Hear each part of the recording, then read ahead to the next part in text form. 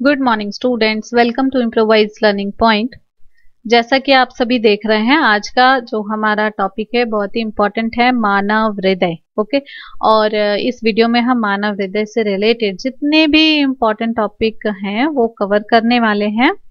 और ये जो हमारा वीडियो है, ये सातवीं कक्षा और दसवीं कक्षा के विद्यार्थियों के लिए बहुत ही ज़्यादा इम्पोर्टेंट है।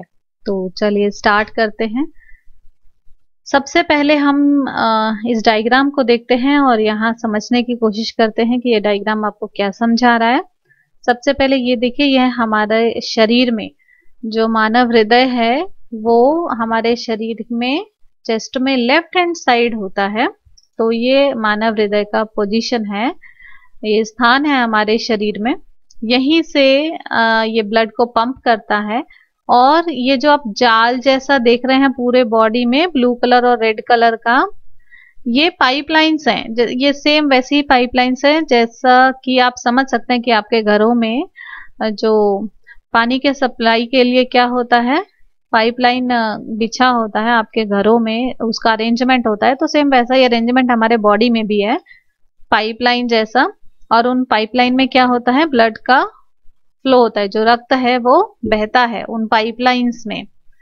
इसीलिए हम इसको रक्त परिसंचरण तंत्र भी कहते हैं। रक्त परिसंचरण तंत्र माना कि ये जो मानव हृदय है और ये जो रक्त वाहिकाएँ हैं ये जो ब्लू और रेड कलर में आप देख रहे हैं ना ये रक्त वाहिकाएँ हैं तो ये पाइपलाइन जैसा आ, इनका स्ट्रक्चर है हमारे शरीर के अंदर। तो ये जो रक्त वाहिकाएँ हो गई और ये मानव हृदय हो गए ये दोनों मिलके परिसंचरण तंत्र का निर्माण करते हैं। और इनकी वजह से रक्त का पूरे बॉडी में परिसंचरण होता है। तो आपको ये समझ में आ गया कि परिसंचरण तंत्र माना क्या? कि बेसिकली हमें उसमें किसको लेना है? हमें उसमें लेना है मानव हृदय को और रक्त वाहिकाओं को। रक्त वाहिकाएँ मतलब पाइपलाइंस हैं हमारे शरीर के अंदर जिन पाइपलाइंस के अंदर रक्त बहता है। तो अब रक्त वाहिकाओं के बारे में जान लेते हैं कि रक्त वाहिकाएँ क्या होती हैं। इनको आ, हमने आ, तीन भागों में विभाजित कर रखा है धमनी शिरा और केशिका। अब इनके बारे में जानते हैं कि ये धमनी क्या है केशिका क्या है और शिरा क्या है। धमनी ऐसी पाइपलाइन है जिसके अंदर हृदय से रक्त जो आ, आता है वो धमनी में आता है और धमनी के बाद पूरे शरीर की धमनियों में ये बहता है। अब धमनी फिर अगर हम देखें तो धमनी से कुछ शाखाएँ निकली होती हैं और वो बहुत ही पतली पतली शाखाएँ होती हैं, जिनको हम केशिका कहते हैं। अब जो केशिका है, इनकी भित्ति बहुत ही पतली होती है तो यहीं से जो गैसों का आदान प्रदान होता है, वो होता है। और श्वसन तंत्र, आप हमारे चैनल पर आके श्वसन तंत्र का वीडियो देख सकते हैं, रेस्पिरेटरी सिस्टम का वीडियो देख सकते हैं, वहाँ पे आपको ये ज़्यादा अच्छे से समझ आएगा कि कैसे गैसों का आदान प्रदान केशिकाओं में होता है। नेक्स्ट देखते हैं शिराएँ। जब ये केशिकाएँ आपस में मिल जाती हैं और एक बड़े रक्त वाहिका के साथ जुड़ती हैं तो उसको हम शिरा कहते हैं। अब ये जो शिरा है, ये ब्लू कलर का दिखाया गया है। क्यों? क्योंकि इनके अंदर ऐसा रक्त है जिनके अंदर ऑक्सीजन की कमी है। और ये जो धमनियाँ हैं, इनके अंदर ऐसा रक्त, ऐसे रक्त हैं जिनके अंदर ऑक्सीजन प्रचुर मात्रा में है। ठीक है? तो इस तरीके से आपको ये याद रखना होगा कि इनके अंदर ऐसा रक्त बह रहा है जिनके अंदर पूरा पूरा ऑक्सीजन है, मिला हुआ है, बंधा है और शिराओं के अंदर ऐसा रक्त बह रहा है जिनके अंदर ऑक्सीजन की कमी है, जिसकी वजह से ये ब्लू कलर का दिखाया गया है। अब शिराओं का काम क्या है कि पूरे शरीर से उन सभी रक्त को इकट्ठा करना जिनके अंदर ऑक्सीजन की कमी है और हृदय की ओर लेकर जाना। और धमनी का क्या कार्य है? कि हृदय से ऑक्सीजन वाले रक्त को लेकर और पूरे शरीर में फैलाना। ये काम है धमनी का। नेक्स्ट जो इंपॉर्टेंट डिफरेंस है कि ये जो धमनी है, इसकी जो ये भित्ति है, ये मोटी होती है, क्योंकि जो ये हमारा मानव हृदय है, ये पंप करता है रक्त को। जो, जब पंप करता है तो प्रेशर ज़्यादा होता है। उस प्रेशर को मेंटेन करने के लिए क्या है कि ये जो धमनियाँ हैं, इनकी जो भित्ति है वो मोटी है। अगर ये पतली होगी तो प्रेशर इतना ज़्यादा होता है कि ये फट ना जाए। तो फटने से बचाने के लिए क्या होता है? इनकी जो भित्ति होती है, वो मोटी होती है। इनमें बहुत प्रेशर से ब्लड फ्लो होता है। रक्त बहता है। अगर हम बात करें शिराओं की तो इनकी भित्ति बहुत ही पतली हो, बहुत तो नहीं, लेकिन धमनियों से पतली होती है।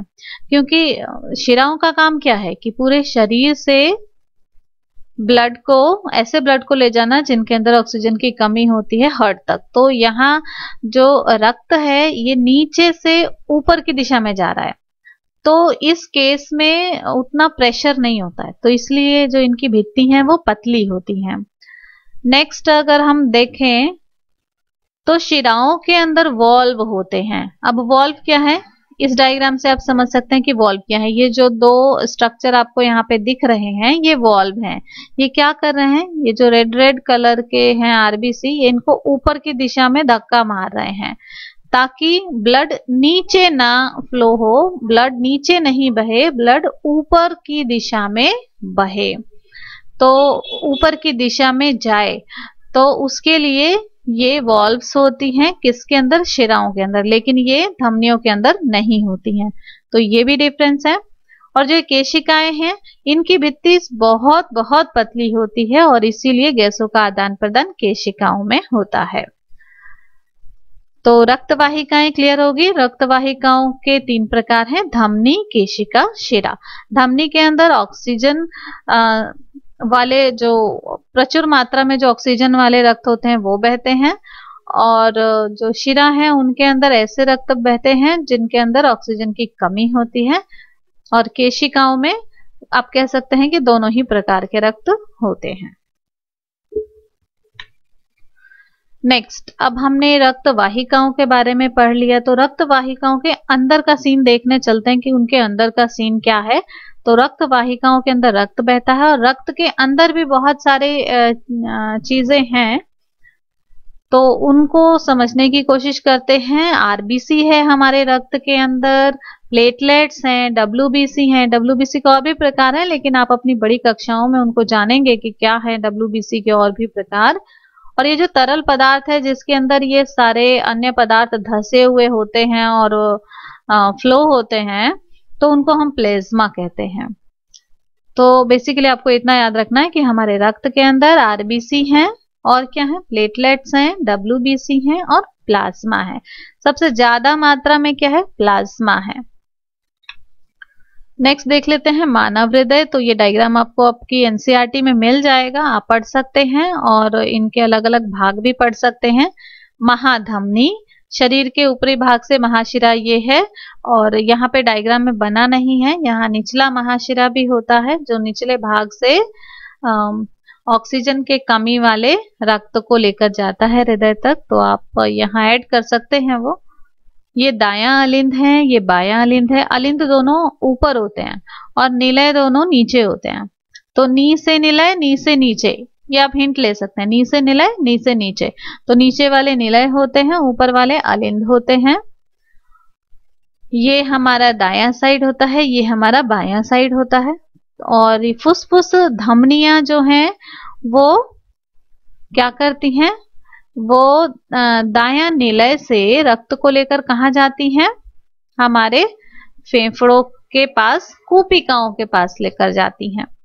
और जो कुपिकाओं से जब क्या होता है वहाँ पे? कुपिकाओं के पास जो गैस, गैसें हैं, ऑक्सीजन और कार्बन डाइऑक्साइड, इनका जब आदान प्रदान हो जाता है तो वहाँ से जो रक्त है, जो ऑक्सीजन की मात्रा से प्रचुर हो गया है, उसको लेकर आती हैं कहा? हमारे हृदय में। लेकिन हृदय में किस भाग में लेकर आती हैं? बाया, अलिंद में लेकर आती हैं। तो ये तो चित्र आपको मिल जाएगा आपके एनसीईआरटी से, आप वहाँ से देख सकते हैं और इस डायग्राम से एरो से आप समझ सकते हैं कि पहले ब्लड कहाँ आया, फिर कौन से भाग में गया, फिर कहाँ गया, ये एरो के हेल्प से आप समझ सकते हैं। अब मैंने कोशिश की है मानव हृदय के ऊपर कुछ नोट्स बनाने की। तो अब उन नोट्स को देख लेते हैं जिनसे आपके बहुत सारे कॉन्सेप्ट क्लियर हो जाएँगे। मानव हृदय एक पेशीय अंग है, जिसका आकार हमारी मुट्ठी के बराबर होता है। अगर आप सोचना चाहते हैं कि आपके अंदर जो हृदय है, उसका आकार, उसका साइज़ कितना होगा तो आप अपनी मुट्ठी बनाकर देख सकते हैं, जितनी बड़ी आपकी मुट्ठी होगी, लगभग उतना ही आपका हृदय भी है। वही साइज़ आपके हृदय का है। और यह पेरिकार्डियल कैविटी में स्थित है। मतलब हमारे शरीर में जिस जगह है ये तो उस जगह को हम कहते हैं पेरिकार्डियल कैविटी इसकी बाहरी परत पेरिकार्डियम कहलाती है और पेरिकार्डियम दोहरी परत वाली होती है। बाहरी परत को पेराइटल पेरिकार्डियम कहते हैं, अंत परत को विसरल पेरिकार्डियम कहते हैं। ये जो आप क्रीम कलर का एक लेयर देख रहे हैं, ये है बाहरी परत और ये दोहरी परत वाला है। तो बाहरी परत को हम क्या कहते हैं? पेरिकार्डियम कहते हैं। पेरिकार्डियम कितने परत वाला होता है? दो परत वाला।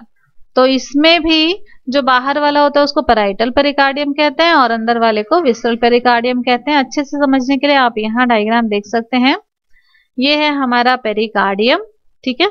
और जो बाहर वाला है, वो ये है। ये वाला हमारा हो जाएगा बाहर वाला पेरिकार्डियम पेराइटल पेरिकार्डियम और जो ये ये इनर वाला है, यहाँ पे, ये है हमारा बिसरल पेरिकार्डियम इसके बीच में जो ये खाली जगह है, उसको हम कहते हैं पेराइटियल पेरिकार्डियल कैविटी अब कैविटी का मतलब खाली जगह, लेकिन ये एक्चुअली में खाली नहीं है। यहाँ पे एक द्रव्य है और उस द्रव्य को कहते हैं पेरिकार्डियल फ्लूड इस पेरिकार्डियल फ्लूड का बहुत ही इंपॉर्टेंट रोल है, क्योंकि ये हमारे हृदय को सभी प्रकार के जर्क से, शॉक से सुरक्षा प्रदान करती है। तो इस पेरिकार्डियल फ्लूड का बहुत इंपॉर्टेंट रोल है, जो कि आपको याद रखना है।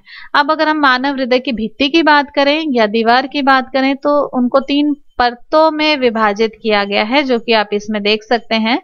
ये ये है जो कि मानव हृदय की भित्ति है। उसको तीन भागों में विभाजित किया गया है। बाहरी को हम कहते हैं एपिकार्डियम और जो बीच वाली है उसको हम मध्य परत को हम कहते हैं मायोकार्डियम, और जो अंदर वाली है उसको हम कहते हैं एंडोकार्डियम। यहाँ पे मैंने फॉन्ट यूज़ किया है हिंदी में तो आप इसे समझ सकते हैं। मानव हृदय में चार कोष्ठ होते हैं, दाया अलिंद, दाया निलय, बाया अलिंद और बाया निलय। अगर हम बात करें मछलियों में तो मछलियों में आ, दो कोष्ठीय ही हृदय होते हैं। एक निलय होता है और एक कलिंद होता है। अगर हम बात करें बर्ड्स में पक्षियों में तो पक्षियों में जो हृदय होता है वो चार कोष्ठीय होता है। और अगर हम बात करें स्तनपाई प्राणियों की तो उनके अंदर भी चार कोष्ठीय हृदय पाया जाता है। और एक और रह गया रेप्टाइल्स में। अगर हम रेप्टाइल्स की सरीसृप वर्ग की अगर हम बात करें तो उनके अंदर तीन कोष्ठीय हृदय पाया जाता है। और रेप्टाइल्स के अंदर आपने क्लास नाइन्थ में पढ़ा होगा, सरीसृप ग्रुप के अंदर क्लास नाइन्थ में आपने पढ़ा होगा कि जो हृदय होता है, वो वो तीन कोष्ठीय होता है, लेकिन क्रोकोडाइल क्रोकोडाइल सरीसृप वर्ग में आ जाता है, लेकिन क्रोकोडाइल के अंदर चार कोष्ठीय हृदय होता है तो ये इंपॉर्टेंट आपको याद रखना है। अगर हम बात करें कॉकरोच की तो कॉकरोच के अंदर तेरह कोष्ठीय हृदय होता है तो एक्सेप्शनल है, ये भी आप याद रख सकते हैं। जीके क्वेश्चन के पर्पज से तो ये जो कुछ एक्स्ट्रा थे, वो मैंने आपको बता दिया।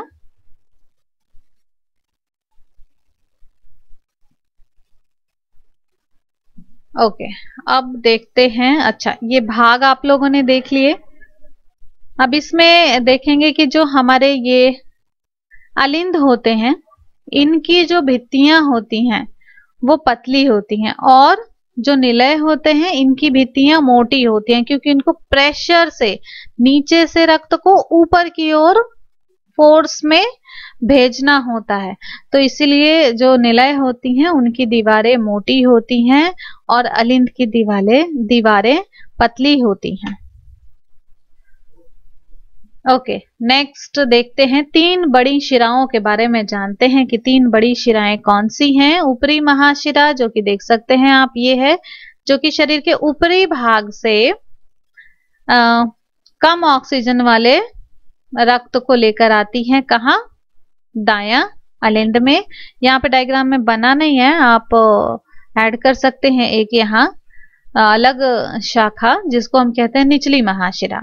और निचली महाशिरा क्या करेगी? शरीर के नीचे वाले भागों से क्या करेगी? शरीर के नीचे वाले भागों से रक्त को लेकर जाएगी कहा? दाया नील सॉरी दा, दाया अलिंद में।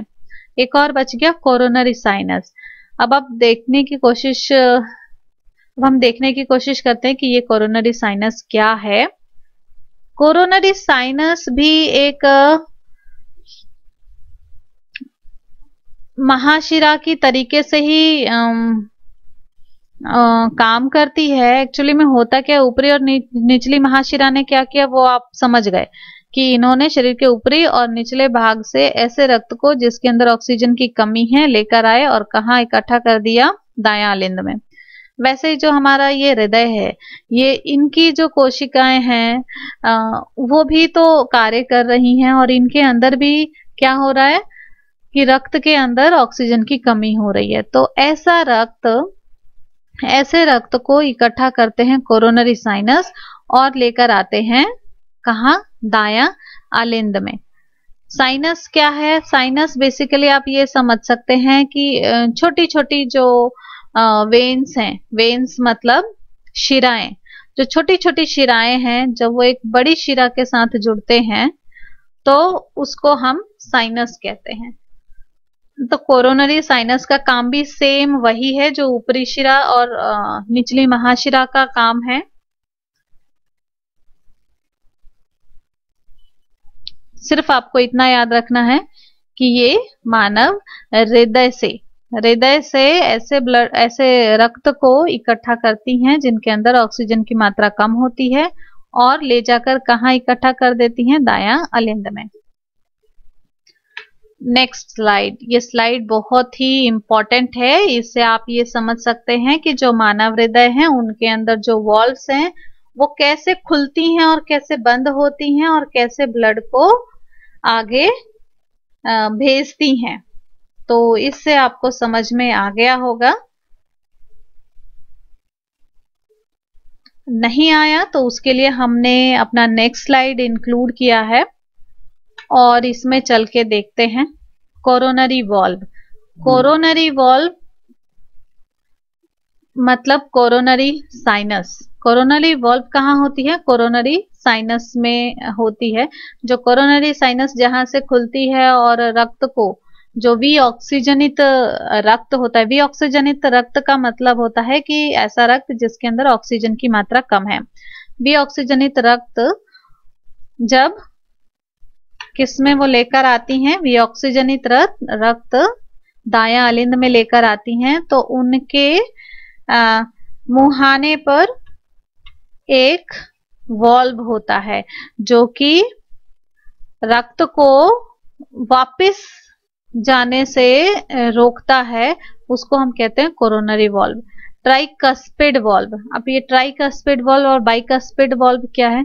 ट्राइकस्पिड वॉल्व जो होता है, वो होता है हमारे ये दाया अलिंद और दाया निलय के बीच में ये जो आप देख रहे हैं ना, इसको हम कहते हैं ट्राइकस्पिड वॉल्व और ये रहा बाया अलिंद और बाया निलय के बीच में है मिट्रल वॉल्व इसको हम बाइकस्पिड वॉल्व भी बोलते हैं। ये बंद होते हैं, खुलते हैं, बंद होते हैं, खुलते हैं, ताकि जो रक्त है, उनका सर्कुलेशन हो, उनका परिसंचरण हो। नेक्स्ट देखते हैं, फुसफुस शिरा। हाँ ये आपको याद रखना है, जो फुसफुस शिरा है, ये वॉल्व रहित होती है। इसके अंदर वॉल्व नहीं होता है। फुसफुस वॉल्व कहाँ होता है? दाया निलय और फुसफुस धमनी के बीच। तो दाया निलय कौन सा हो जाएगा? ये हो जाएगा। और फुसफुस धमनी, ये हो जाएगी। ठीक है? सारे धमनियों में ऑक्सीजनित रक्त बहता है। लेकिन एक फुसफुस धमनी ऐसी धमनी है जिसके अंदर वी ऑक्सीजनित रक्त बहता है। इस बात को आपको ध्यान रखना है। उसी तरीके से अगर हम नेक्स्ट देखें, महाधमनी वॉल्व, ये है महाधमनी वॉल्व। और ये किसके बीच में है? ये बाया निलय और महाधमनी, ये महाधमनी और बाया निलय के बीच में है। महाधमनी वॉल्व, ये भी बंद होती है, खुलती है, बंद होती है, खुलती है और उसी की वजह से जो रक्त है हमारा वो वो बाया निलय से महाधमनी में जाता है। अब बाइकस्पिड, ट्राइकस्पिड का मतलब कि ये जो वॉल्व हैं, ये तीन भागों में बटे हुए हैं। इसको जब आप ये लास्ट स्लाइड देखेंगे तो यहाँ से अच्छे से क्लियर आएगा। ये देखिए, एक, दो, तीन। तीन भागों में बटा हुआ है। तो इसलिए हम इसको ट्राइकस्पिड कहते हैं। ये भी तीन भागों में बटा हुआ है। ये दो भागों में बटा हुआ है, जो एग्जैक्टली exactly यहाँ से क्लियर नहीं है बट दो भागों में बटा हुआ है। तो इसको बाइकस्पिड कहते हैं। तो आपको वॉल्व समझ में आ गया। यहाँ इस डायग्राम से आप देख सकते हैं कि कैसे एक ये पूरा खुल जा रहा है, फिर बंद हो जा रहा है। खुल जा रहा है, फिर बंद हो जा रहा है।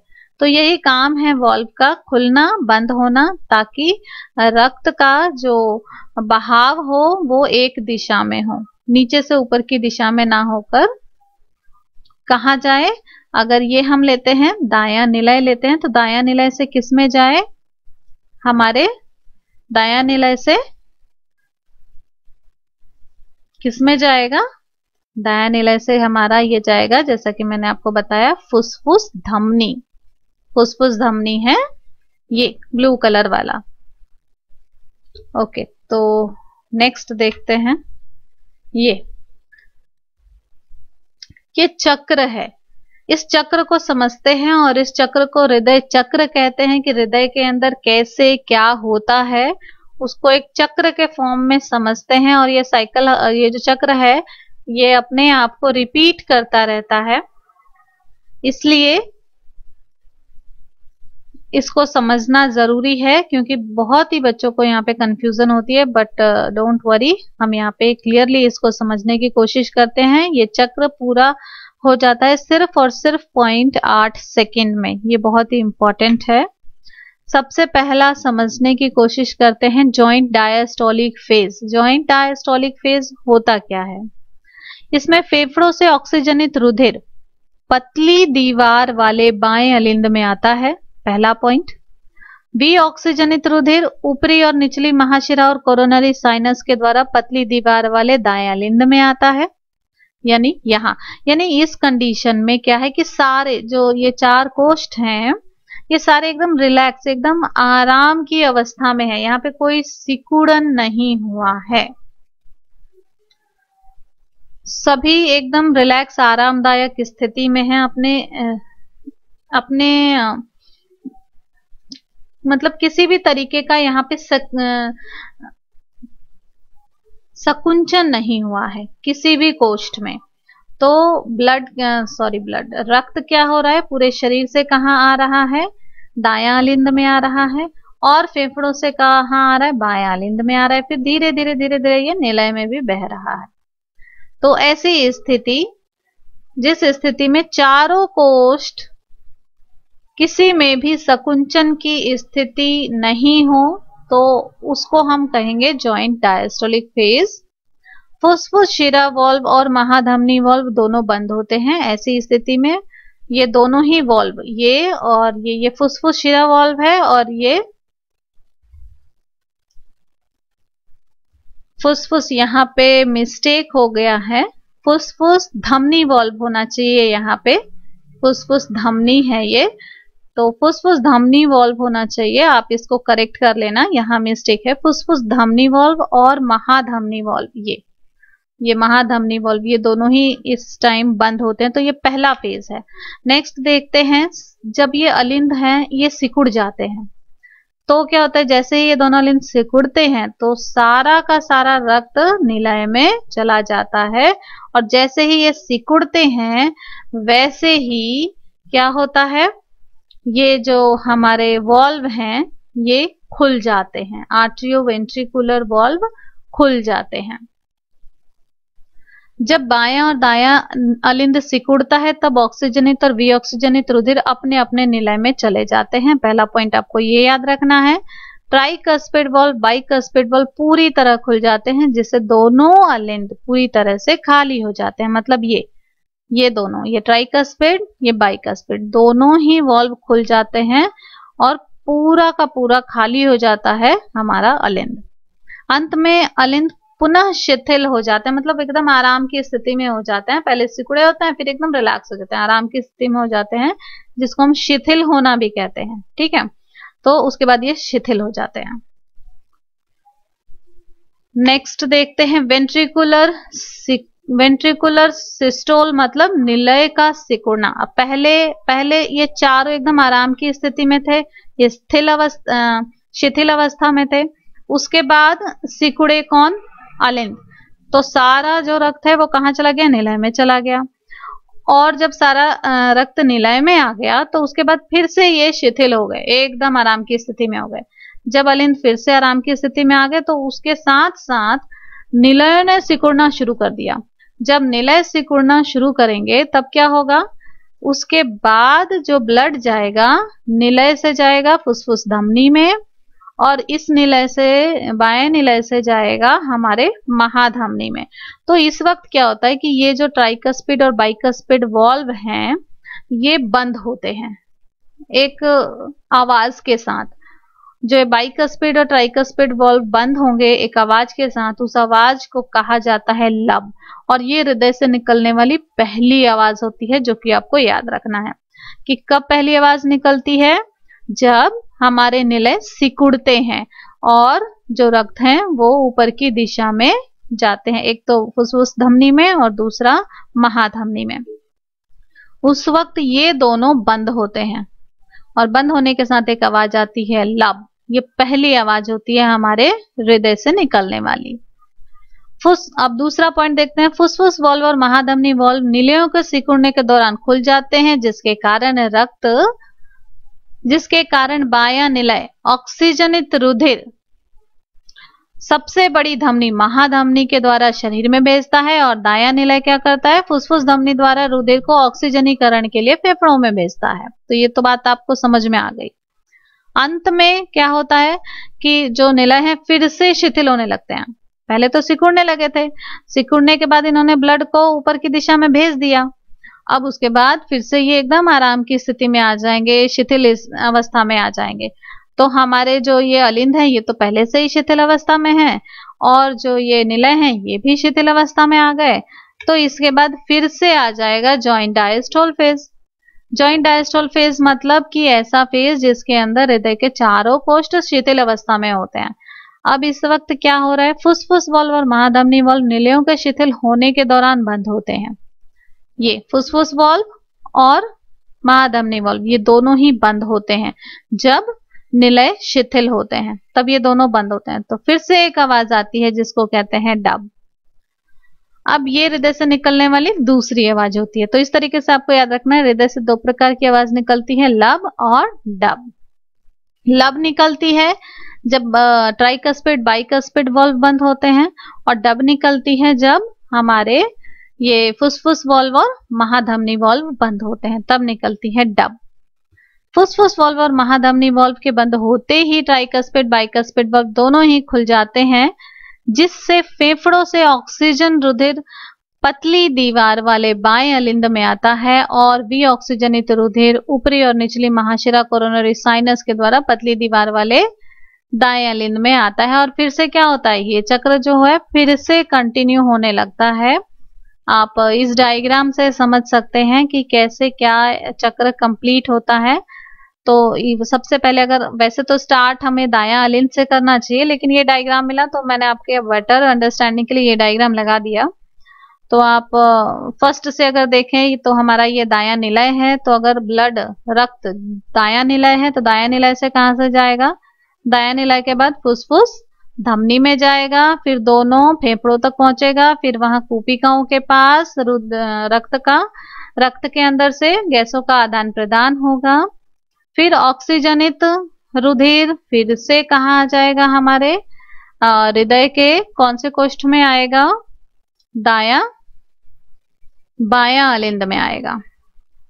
दाया नहीं, बाया अलिंद में आएगा। फिर अलिंद में आने के बाद पाँचवें नंबर पे कहा गया? बाया निलय में गया, फिर निलय से महाधमनी में गया।